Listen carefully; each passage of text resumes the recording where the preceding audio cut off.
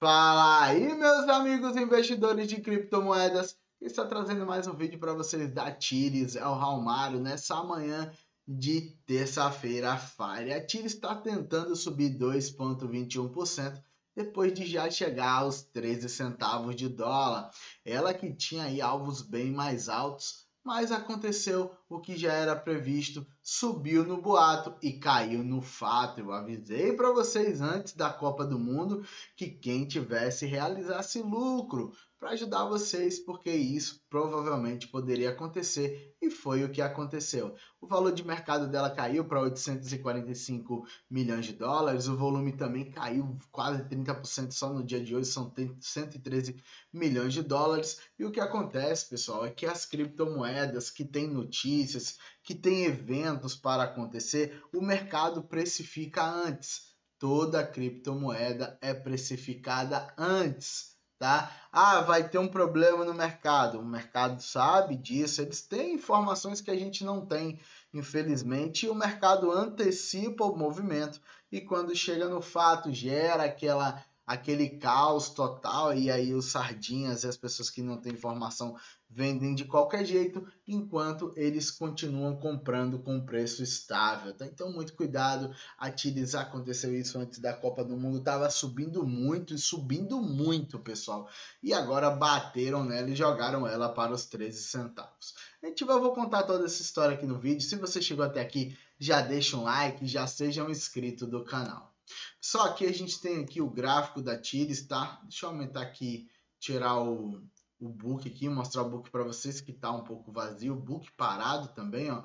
Poucas compras e vendas, ó. Essa demora aqui de sair negócios é porque o book tá vazio, tá devagar. A gente tem que olhar também aqui, tirar os indicadores, mas antes eu vou falar deles. Esses indicadores aqui são de semanal, MACD cruzando para baixo, e aumentando histograma, estocástico caindo e RSI caindo, média móvel de 8 cruzando a média móvel de 20 períodos, a gente tem tendência de baixa total na Tires. Mas veja, a Tires não foi só queda não, pessoal. Quem soube comprar ela bem comprado e pegou esse fundo aqui, por exemplo, e comprou aqui nesse gatilho, conseguiu pegar ainda 145%. Então, para você tem que entender que muitos investidores ganharam muito dinheiro com a Tires. Ralmaro, mas aí o cara já pegou lá embaixo. Cara, o cara que esperou um, uma oportunidade, pegou esse pivôzinho aqui, ele botou no bolso aí 50%, se ele quisesse botar no bolso aí, ó, 50% para você. Então, teve oportunidade para você entrar na Tires, teve oportunidade para você sair da Tires. Teve pump, teve de tudo na criptomoeda. Só que quando eu falo, fez essa espécie de topo quádruplo aqui, deixou aqui, caiu, deixou aqui, não conseguiu, voltou, deixou aqui, voltou, deixou aqui, voltou, falei, agora vai embora. Acabou perdendo os fundos que eu tinha marcado e vai em direção aos 8 centavos no semanal. Então, você já deveria ter realizado lucro antes da Copa do Mundo, não durante a Copa do Mundo. E aí eu vi uma galera falando: não, Romário, vai para um dólar, vai para não sei quanto antes da Copa do Mundo. E eu ficava preocupado, porque, por exemplo, o meu pivô aqui, um exemplo, tá, pessoal? Um pivô de 100% de, de fibra, que para mim já é um alvo um pouco mais difícil, porém é viável, que era esse pivô aqui. Ele jogava o preço a 40 centavos de dólar. Não, era o alvo total. Então, numa tendência de alta mais forte, poderia nos 47. Então, a gente tem que analisar tudo isso, essas possibilidades. E agora a Tires caindo em direção aos 8%, pelo menos no gráfico semanal. Vamos olhar qual história o diário está contando para a gente agora. E essa análise tem que fazer fria, pessoal. A gente está falando do nosso dinheiro. A análise tem que ser fria. Eu particularmente não tenho nenhum amor, nenhum token quando tá caindo, tá caindo, quando tá subindo, tá subindo, tá? Se precisar vender, eu vendo, se precisar comprar, eu compro. Eu faço essas análises, análises dessa forma.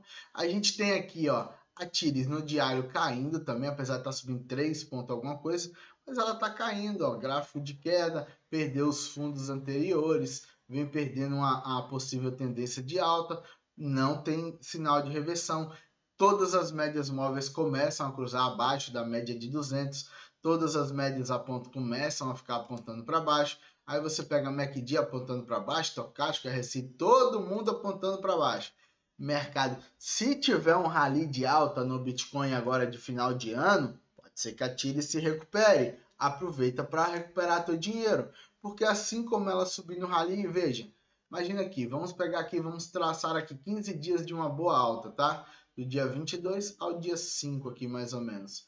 Você tem uma possível valorização dessa forma. Então, se ela valorizasse dessa forma e chegasse aqui nos 24 centavos, se você está no lucro, você tem que pensar em realizar lucro.